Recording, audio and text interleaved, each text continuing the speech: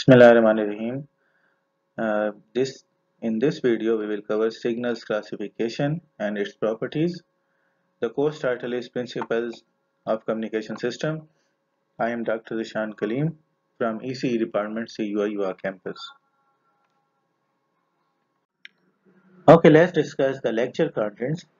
In this video, we will cover signal classifications in detail. So, classifications of signal. Usually signals are classified into several categories depending upon the criteria used for its classification.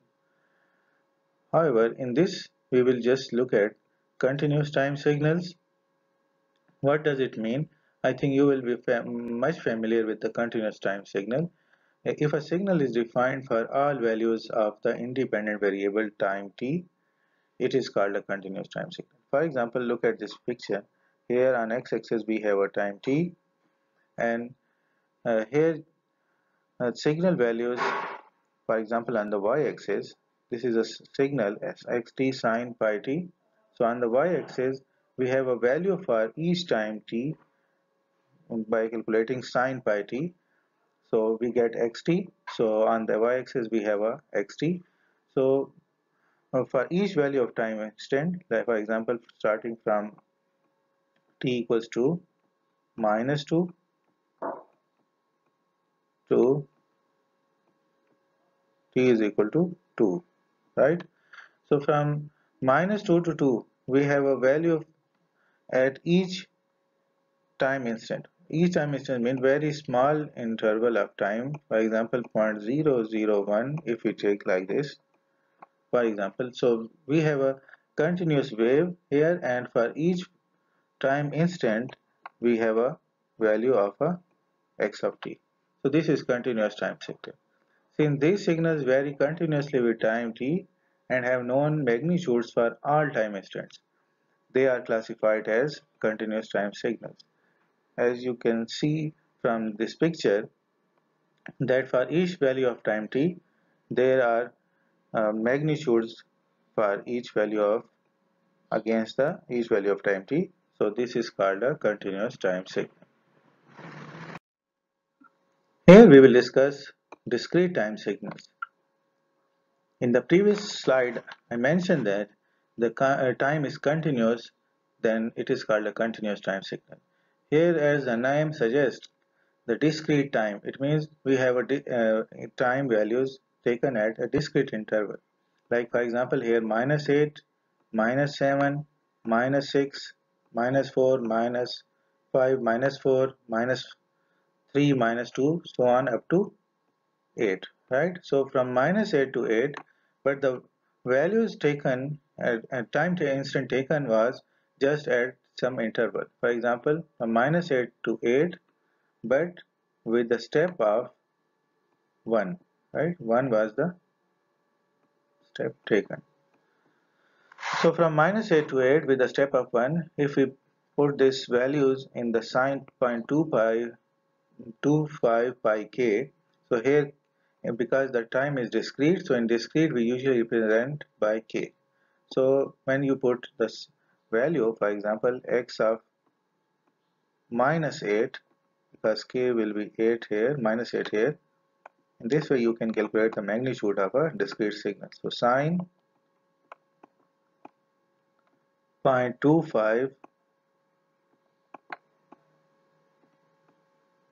into pi into minus 8 right? To minus 8 so after calculating this you will get some value. Here I think we will get 0 so we have a 0 here.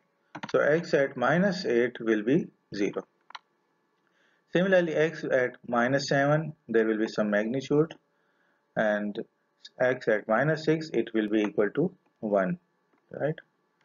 So, so on. So this is called a discrete uh, time signal because here we have a amplitudes at discrete values and the time taken was the discrete time instant, right? This is an example consider the continuous time signal xt is equal to sine pi t plotted in a figure previous as a function of time t discretize the signal using a sampling interval of 0.25 se second and sketch the waveform of the resultant resulting discrete time sequence for the range k greater than minus 2 or less or equal to 9. So uh, what we have to do, we have a we have a time instant sampling time of 0.25. Look at this, and the signal is sine pi k. So by substituting t equals to kt because this is a discrete time, so t is replaced by k into sampling time why sampling time because we need to sample at some time instant so that time instant is fixed so 0.25 and uh, like the sampling period uh, so that period is 0.25 second. And k represent exact time at which the sample is taken. So t is a period right? And k is the exact time at which sample is taken. So we will replace t by kt here right? Sine pi t because we have a sine pi t so we replace t by kt and whereas the value of the t is 0.25 so the signal becomes xkt equal to sine pi k into 0.25 equals to sine 0.25 pi k right? Now we need to plot a discrete time segment so values can be 0 plus 1 plus 2 so on. So we can start uh, here we have uh, an example taken at x is equal to minus 8 so minus 8t so sine equals to sine minus 2 pi which is 0 right? Similarly x minus 7 so x minus 7t so uh, sine minus 1.75 pi is equivalent to minus 1.75 pi so it results in 1 by under root 2. Similarly, you can calculate for x is equal x1, x is equal to t, so sine 0.25 pi. So better to ignore this one and just focus on this equation, right? So we have a sine 0.25 pi and 1. Instead of k, we have a 1. So sine 0.25 pi. Similarly, x2, so if you focus on this equation, so just put instead of k, put 2 here. So sine 0.25 pi into 2 so it becomes 0.5. So result result resultant amplitude will be a 1. So on. So these are all values are taken for example minus x to minus 1 and then 0 and then 3, 4, 5, 6, 7, 8. So this uh, was a continuous time signal given to us and we need to convert into a discrete time signal. So which look like this signal. So this was an example to show that how we can discretize the continuous time signal into a digital or discrete time signal so there are different types of signal as we already discussed um, for example in figure A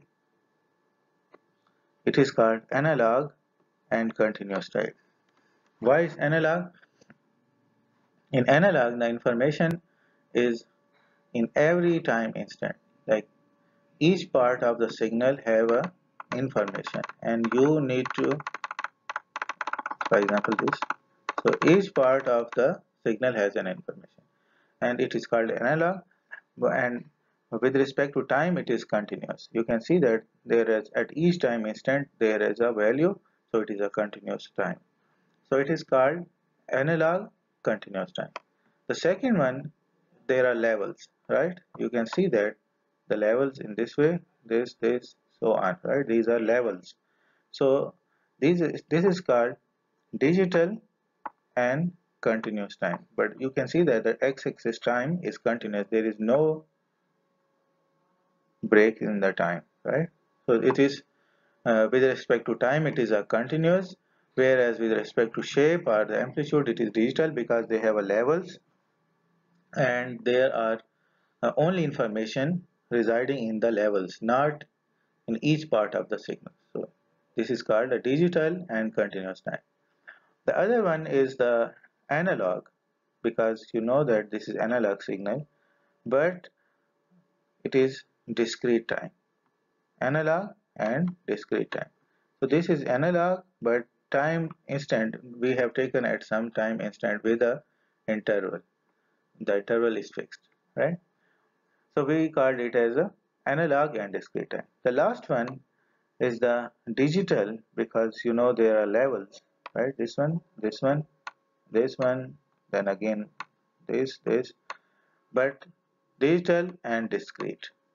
So digital means the levels are there and discrete means we are taking at some time instant. So discrete always means that we are taking at some time instant right? Like this was the analog in nature but we are taking at some time instant not continuously. So it is called a discrete so these are the four different types of a signal. Other uh, term is the periodic and aperiodic signal.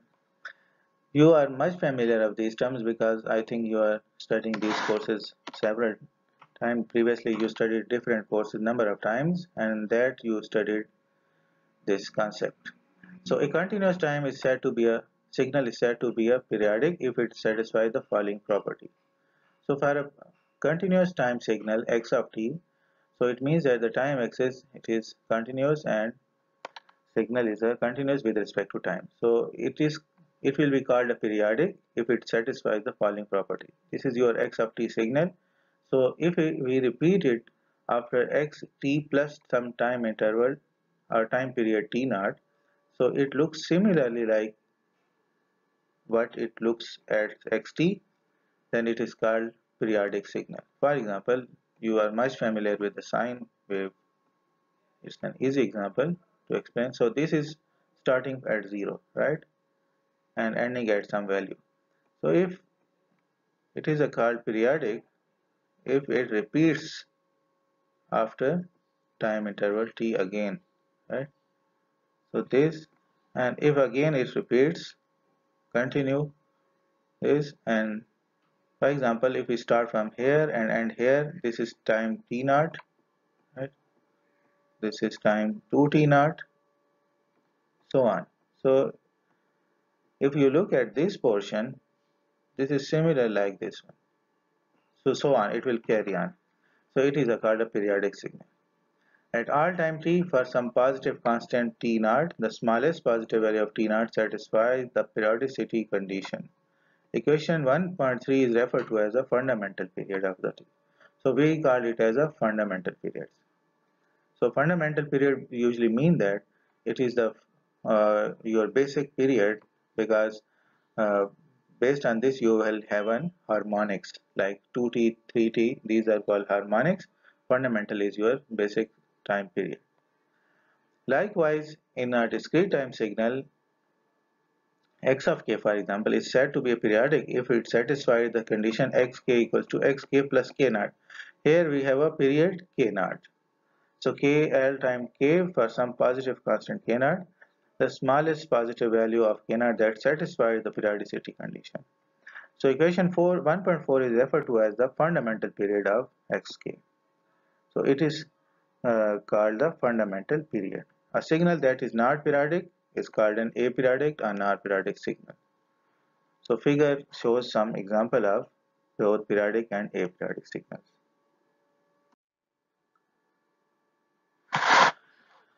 So the other time is the fundamental frequency. That's the reciprocal of the fundamental period as we have a fundamental period T naught if we take the reciprocal like this one 1 over t naught so it is called the fundamental frequency so fundamental frequency 1 over t naught for continuous time signal fundamental frequency for discrete time signal is 1 over k naught right? So t naught and k naught are some are respectively the fundamental periods of continuous and discrete time. The other term is angular frequency which is which can be calculated as 2 pi over t naught yeah, using fundamental period. So it can be calculated as 2 pi over t naught. So similarly it is for continuous time signal for um, discrete time signal we have a ohm naught equals to 2 pi over k naught instead of t naught here we have a k naught for discrete time signal A familiar example of a periodic signal is a sinusoidal function represented mathematically by the expression. So this is our periodic signal. This is a familiar, very much known example of a periodic signal as I plotted in the previous slide as well. A sine omega naught t plus theta. So this is a periodic signal which is repeating after some time interval t. The other important terms are deterministics and the random signal. You must uh, know these terms because uh, in wireless communication or any communication these terms are very much popular. So deterministic if the value of a signal can be predicted for all time t in advance without any error it is referred to as a deterministic. What does it mean? For example, I have a sine right signal sine pi t if we have a signal sine pi t is mathematical expression. So can you predict the value of sine pi t? Yes of course we're putting different values of time. For example time 0 time 1 time 2 so when you put time 0 here you can get output exact value. For example at time 0 you will get 0 right? So it is exact. Like you know at time 0 we have an amplitude of 0 when you put sine uh, for example 1 so pi into 1 to sine pi. Again you know the exact value. So sine 2 pi you again know the exact value. Not uh, you are not confused but will be the value of sine pi you can just take a calculator and calculate the exact value. So these types of signals are, can, are called deterministics because we can calculate the exact value in advance without any error. Because we know the exact value so there will be no error. So it is referred to as a deterministic signal so the deterministic signal can generally be expressed in a mathematical or graphical form. Some examples of deterministic signals are as follows. So these are called continuous time sinusoidal signals. So x1 t 5 sine 20 pi t plus 6. So you put here time t and you can get x1 t. So this is continuous time signal but it's deterministic. So other one continuous time exponentially decaying sinusoidal. So if you just put t here again and calculate 2e minus t here as well. So 2e minus t sine 70. So you will get exact value of x2 of t. So these are types of signal are called deterministic. Now the other term is random. Random signal. Random actually in wireless communication or the communication used as we have a wireless channel. So we don't have a deterministic signals anymore in the channel side. So the here comes the use of the random signal scheme. So conversely, signals whose values can't be predicted with complete accuracy for all time are known as the random signals. You studied probability uh, so and other distributions. Uh, the only uh, reason for studying the probability and the distribution is to check the randomness or to model the randomness or the random behavior. So this is where random signals or the randomness came. To, so to model the, uh, to know the what kind of randomness exists in the signals, you have a probability density functions. So these random signals can just be characterized by a statistical measures such as mean, standard deviations, mean square values, variance, etc. So to measure the random signal, we can't exactly calculate the what will be the value of the random signal at time instant t.